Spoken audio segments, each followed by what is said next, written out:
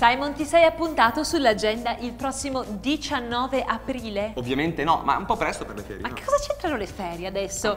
Un appassionato di RPG strategici come te che se ne dimentica. È vero, hai ragionissimo, un'amnesia a 18 anni, terribile, veramente. Sì, per gamba però, ecco, sì. Comunque ti aiuto io perché il prossimo 19 aprile dovete prepararvi amici, è l'uscita ufficiale per Nintendo 3DS di Fire Emblem Awakening. Hai ragione Giorgina, il nuovo gioco sviluppato da Intelligent System ci riporta nell'universo fantasy di ispirazione occidentale ma con influssi nipponici che da sempre caratterizzano la lunga serie Nintendo. E allora amici, in questo angolo dedicato al cosplay andiamo a scoprire insieme i fantastici personaggi di questo Fire Emblem Awakening.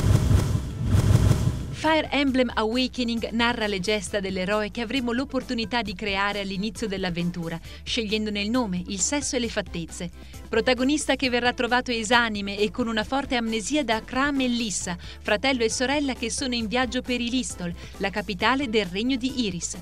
Con loro c'è anche Frederick, possente guerriero che continua a spronare i compagni a fare in fretta, parlando di una guerra imminente. Lo stile dell'intera produzione si rifà ovviamente a quello dei passati episodi di Fire Emblem, anche se i protagonisti appaiono più moderni e rifiniti nella magnificenza del 3D.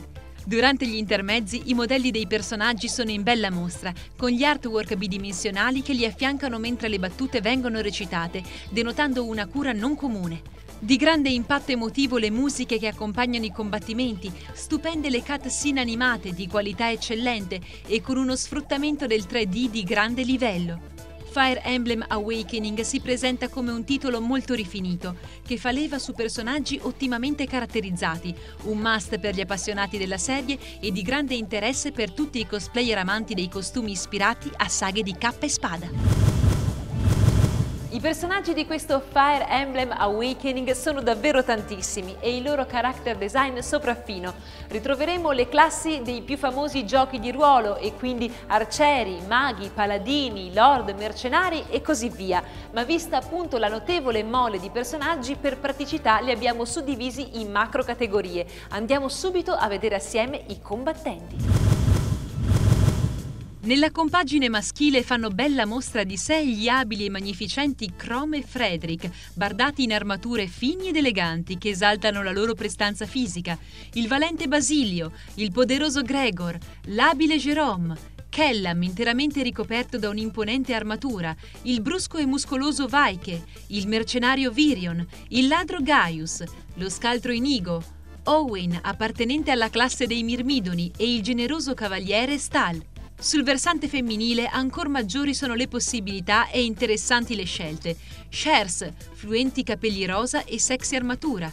Cordelia, la combattiva Lucina, l'elegante e irriverente Anna, l'arciera noir proveniente dal futuro, l'ambigua mercenaria Severa, l'androgina Sally dai corti capelli fulvi, Sumia con il potere di capire i sentimenti degli animali, Tic, in maliziosa Mise rossa con svolazzanti drappi rosa la coraggiosa ed eroica Flavia, la piccola Nada alle lunghe trecce verdi, Nowi che a dispetto delle sembianze adolescenziali è in realtà una donna di oltre mille anni, la principessa Sairi con una Miss chiaramente ispirata alla tradizione del Giappone feudale.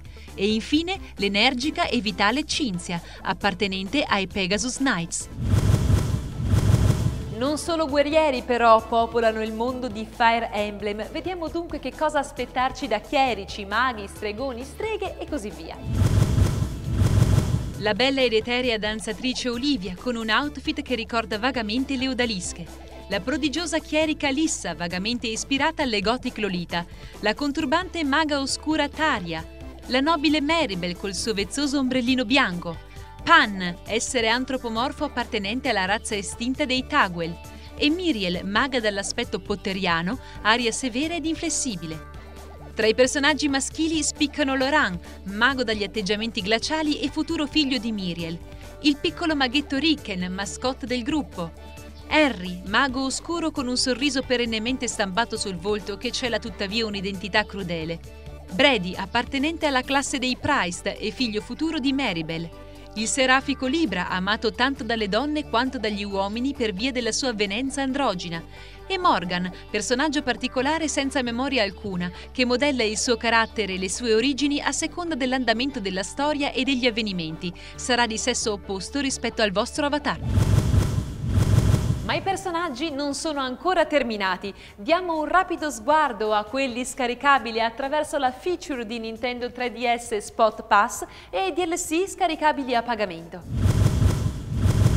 Tra i primi abbiamo lo spietato Gangrel, il massiccio conquistatore Wildcard dall'inconfondibile armatura rosso fuoco, la bella e saggia Emerin con abito sacerdotale e ampio mantello sui colori di bianco, verde e oro.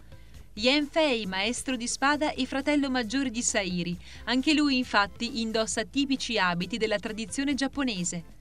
Aversa, sottoposta di Gangrel, fan fatale nonché uno dei maggiori antagonisti della serie, e infine Priam, con armatura, lunghi capelli corvini, spada in mano, il classico eroe.